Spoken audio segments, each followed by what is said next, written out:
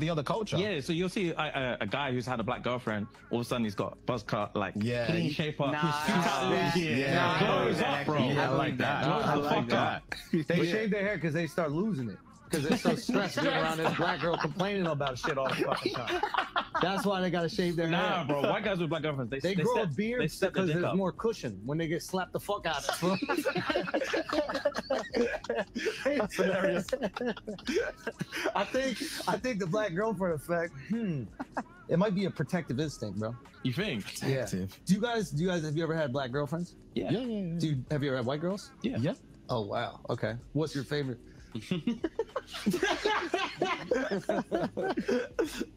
We love them all. Yeah, yeah, Yeah, yeah, yeah. Oh, Just- really? We love them all. Yeah. That means white. Who No. yeah. that, that is, that is what. no, no. translation. Kendrick fans, get him! I think, man. What happens next? What was the last thing that was said? They they, they were laughing and shit. What was said? They said, uh, Oh, oh no, Kendrick fans get him. Kendrick talking about Kendrick Lamar. So he's, he's he's making a reference to Kendrick Lamar claiming that you know um, Drake don't like black girls and shit like that, or so on and so forth, and you know black family, all that bullshit. so Okay. do here, man? Right. So Schulz said what he said, and I get it. He's uh, a comedian, right? For all intents and purposes. Was he out of bounds? No, he's not out of bounds. He's a comedian, like you said. A comedian, comedians get to, and he didn't say anything inflammatory. He said a stereotypical thing that's been said for forever, and not just stereotypical, um, uh, statistical. Black women have the highest rates of being perpetrators of women of being perpetrators of domestic violence, also. So, um, uh, yeah. And then just to give people context, right? A lot of people don't understand or know. Most men, brothers don't know, but black women know. The black girlfriend effect is a swirler movement as to where black women get with white men and change them into literally nigga light. So they get these white boys, and as they said, Travis Kelce is a perfect example, right? So how Ca- Travis Kelce was with his black girlfriend. Yeah. Now that nigga look like a lumberjack. You know what I'm saying? Like a lumberjack at a truck st- truck stop or truck driver.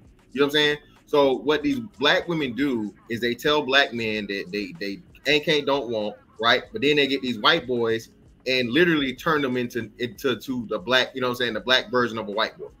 So that's what the black girlfriend effect is. Aaron? Um, I would have to know the audience in the room to know if he was out of line. Um, locker room talk, no. Barbershop talk, no. But I wouldn't appreciate if there were black women around. I think there's a certain level of decorum that, you know, should be exercised when your audience is a certain, you know what I mean? Like, I there's just a there's a time and place for everything.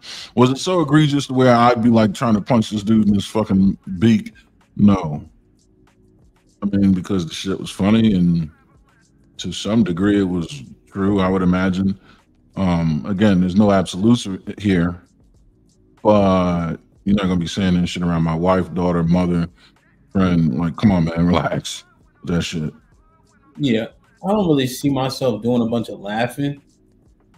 I don't know if I would have got instantly like hostile, but I probably would have I probably would have said something direct about it. You know, but I don't think I would have got over the top about it, but I probably would have said something direct. Just because people don't even date the other cultures to be even be having a comment about the women.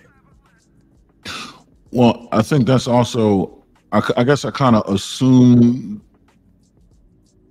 he already had that experience to speak from it, and I think the other guys. I don't know. The the nature of the conversation seemed really comfortable to begin with. Like that was already a known thing. Mm-hmm. Like this is my first time seeing it, but like if they were sitting there talking for a couple hours having a cigar, I probably would have figured out by then that he's had a few black women and has a experience. I don't know, just the conversation seemed jocular enough to where they weeded out some formalities. Now, if they haven't, then yeah, that's back to being presumptuous. Don't don't don't take liberties. but they they cop plea at the end by saying we love all the women. So what they didn't set a standard for him. again, I don't know what was said before. If this is a first time conversation, yeah. The the uh, presumptions were made, liberties are being taken. But if a standard was set already, Look at I these. mean- guys. You think they set a standard? yeah, it may potentially sure, and maybe that that standard didn't, maybe he didn't cross it because we say some shit about white folks all the time, Thank Why you. did they apologize? huh? Why did Why they- apologize? Because because they because they they they pussy for one. Who One, apologized? the the shits and giggles guys, the, the foreign dudes, the UK dudes. UK dudes apologize. The black dudes? No, yeah, yeah, the black dudes. Why So did they- they apologize for what? They apologize because they have a, a podcast, even though, like I said, American black women especially are not the major supporters of it, right? So um to not be canceled, to to avoid canceling, they apologize. Black women did not accept it in the first place. They all said it was fake and this and all these other Right, things. before we get But they into pussy. That's why they apologize because they pussy. Oh, oh, they saving face. Then yeah. Oh, look at this. today's episode, Mhm. uh, quick PSA, quick acknowledgement. Mhm. Um, so, if you know, you know. If you don't, that's fine. Um, but we just wanted to address something that's happening at the minute. Yep. This past weekend, uh, there's been a couple clips going around uh, from when we did a session on the Flagrant podcast um, while we were on our US tour. Mhm. and um, yeah, there were a, a few jokes made um, that were incredibly inappropriate. One specific, bro, one specifically pertaining to black women. Yep. Um, and in the clip, um, Andrew was making a joke. Uh, I'm not even going to get into specifics. Making a uh, like, frankly, like racist joke Yeah. and we were laughing at it. Mhm. And to give there's there's first of all before we get into like specifics or anything like that, obviously there's just literally no excuse. There is no excuse. Agreed. Um, and fight or flight is a real thing. Like it is, yeah. Fight or flight is a real thing, and it's so not easy to say, but when you're in those situations, you you look at it through a lens of like, bro, if it was me, I promise you, I'll stand up, I'll kick them cameras down, Yeah. I'll smack homeboy in the face, Yeah. I'll say this, I'll do that.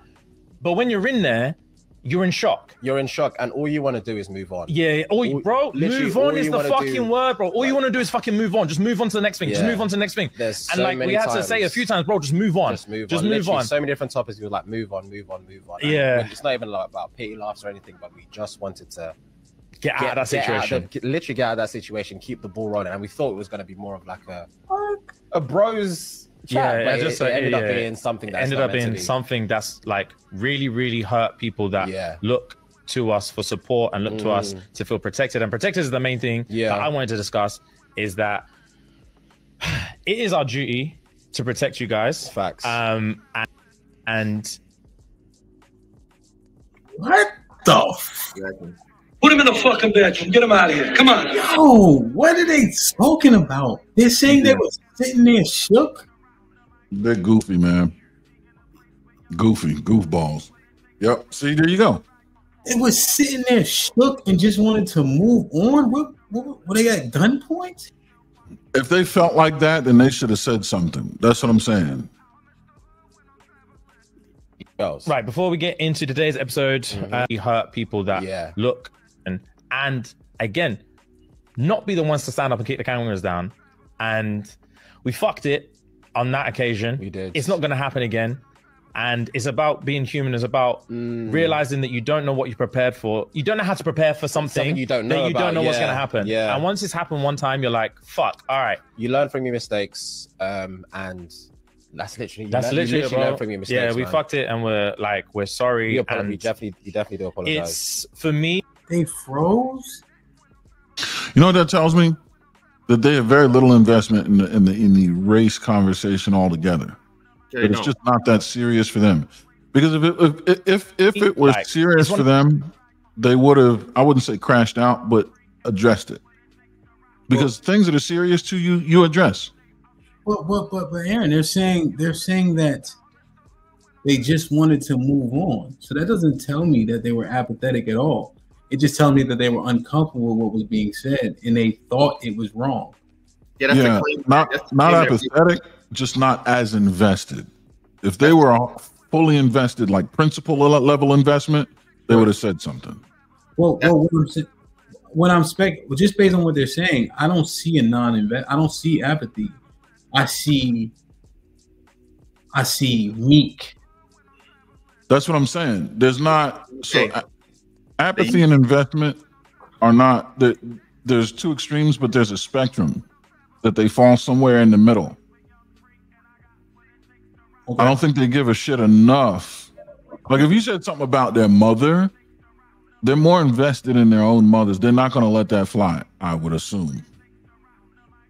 Right? But they can still feel a way without being full tilt investment, like crash out ready. So I guess my thing is though, they said it won't ever happen again. That's PR talk. I understood, but I'm going off of what he's saying, and so the benefit of the doubt is being given where they don't.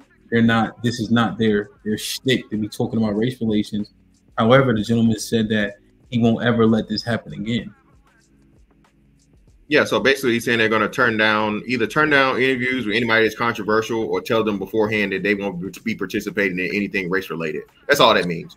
I was going to say avoidance. Yeah. Yeah, well, yeah. So, so, so that, that's that's all that means. And again, like I said, uh, regardless of what I don't, I don't, I don't. Everybody is like, this is a comedian, okay, who who has who did have a relationship with a black woman at some point in time or whatever, so on and so forth, right? So, the, the it's a comedian that told jokes. It wasn't anything flagrant. It wasn't anything crazy. Again, it's just regular jokes. And I, I hate this sensitivity that niggas get when a white person does the same thing that a nigga does. How many how many white jokes have black people told, men and women, right? So the fact of the matter, he said something on a the, it's called the Flagrant Podcast. He's a well-known fucking comedian. Whether you believe he's funny or not, dude makes fucking millions of dollars to be funny. Okay. He has the official motherfucking comedian card membership, whatever you want to call it, right? Another big thing too, I'm gonna show after this. So it's not just that. So everybody trying to make it seem like it's only this. It's not only this. These brothers had something that black women were already hot about that they said previous to this thing. So it's coupled with the clip I got and the Andrew Schulz shit. You feel me? So basically, you got two men that aren't highly, highly attracted to black women. Like I said, they deal with both.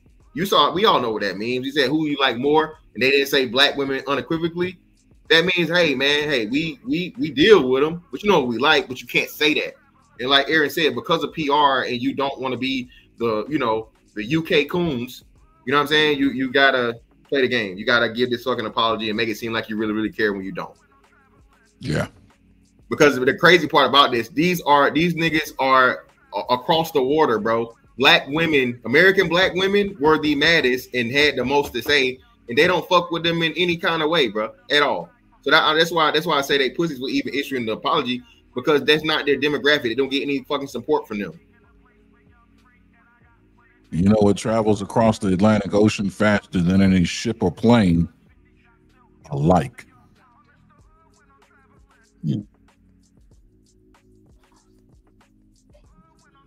Okay. I understand it. I, I don't really agree with the sentiment about what black people do, white people should be able to do also. I don't know if that if that that that justifies anything. No, I, I, I, I would say that there's limits to that.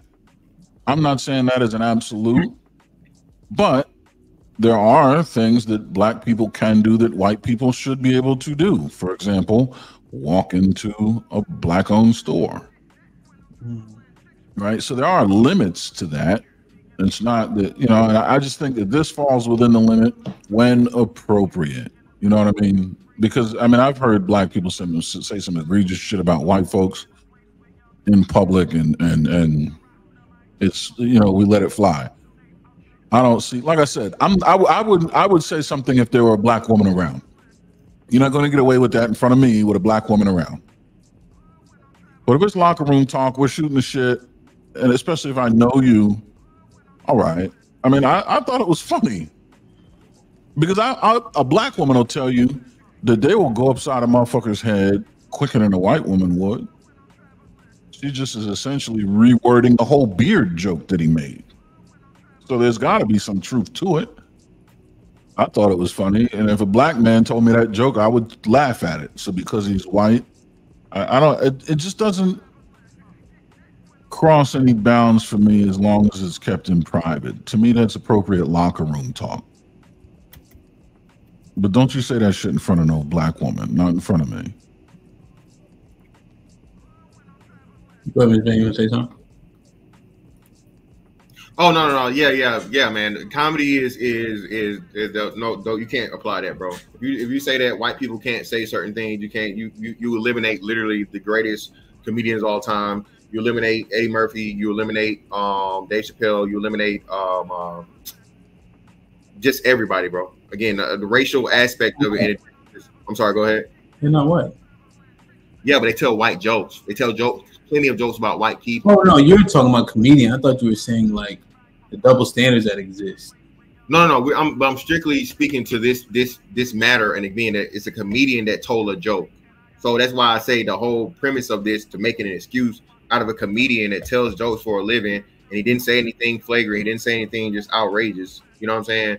It's it's just a knee jerk reaction, and again, like I said, it's coupled with this because this can happen first. Let me play it. Look at the Della Reese scene in Harlem Nights where she went out back with Eddie Murphy. Niggas think that's the most hilarious thing since you know what I mean? Chinese checkers. Yeah, and the white, yeah, and the white, hey, the white dude that left his family for sunshine. That was a joke against white people there themselves. Like you know what I'm saying? You know, so You guys even hear my microphone? Yeah. What? Can you even hear my sound effects? No. Thanks, guys. I appreciate it. Why? What happened? Wait, Fantastic froze. All right, he's trying to play his thing. Hold on a second. No, Fantastic blink. No, he's frozen. He's frozen. Oh.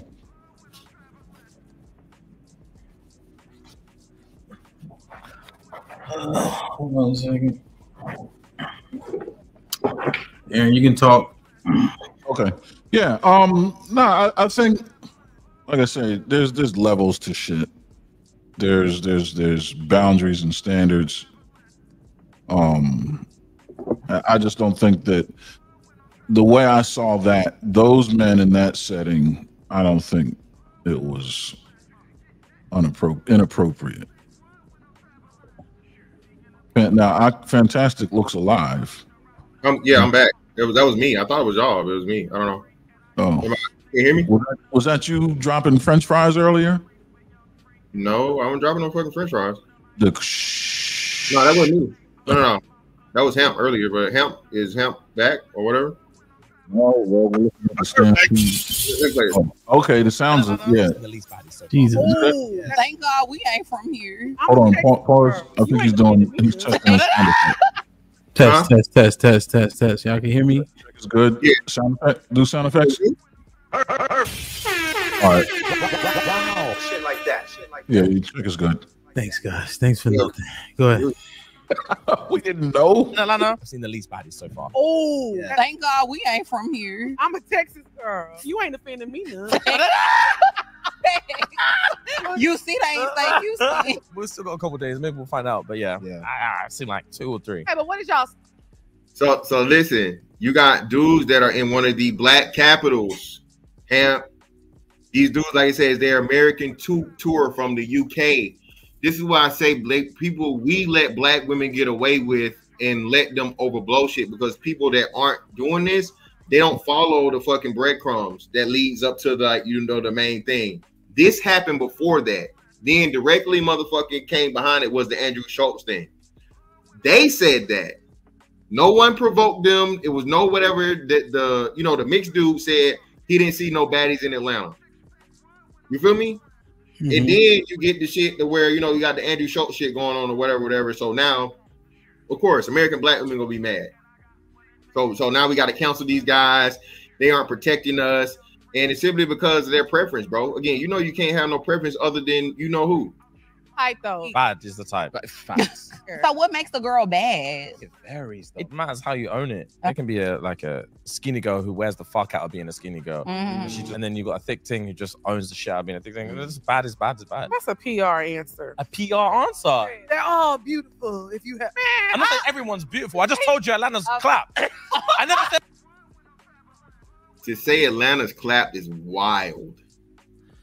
What the fuck is clap?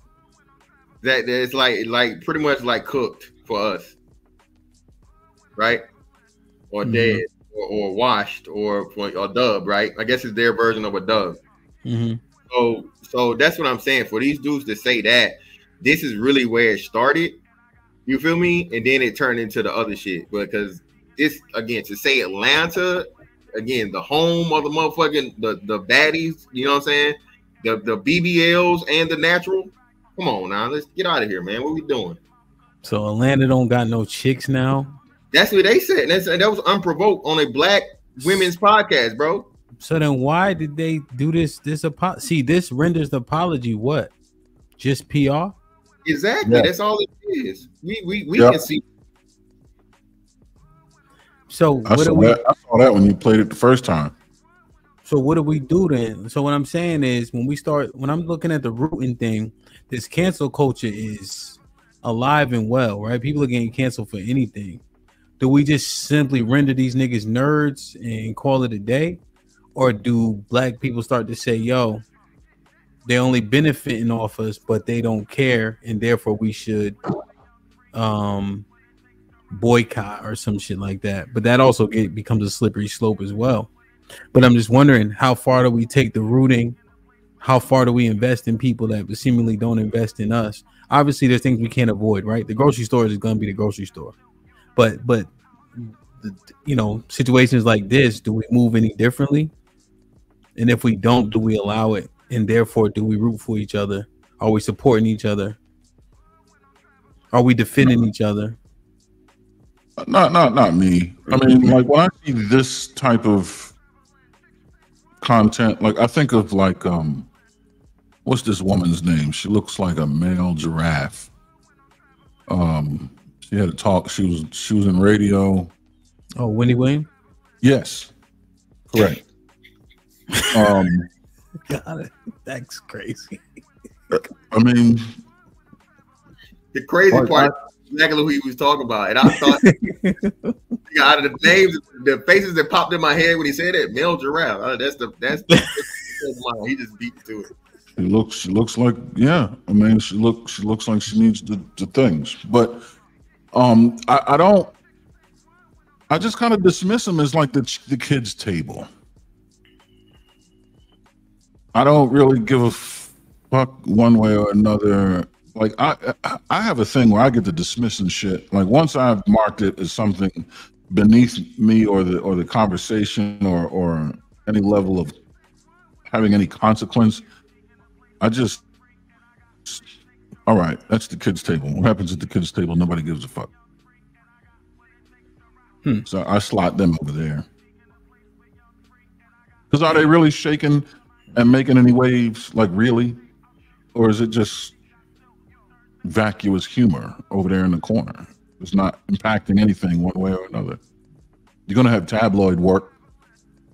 Let the tabloids be the tabloids. You know, them niggas ain't shit. I, this is the first time I've seen any of this. I don't even know who these motherfuckers are.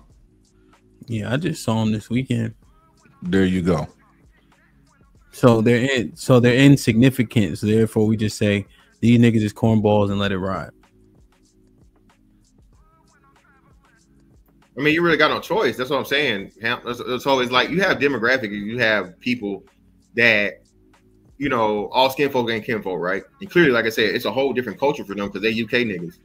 You feel? So that's not it's not really a concern or business of mine. And then too, like like you know what I mean, what made it, and this is why I'm telling you, if you look at this, this is why American black women got mad and people are are totally purposely jumping over this. I don't say purposely, people are ignorant to the fact that they're jumping over this because they first dissed them, slighted them, and said that in one of them, you know, the most popular fucking cities in America, they had no baddies there.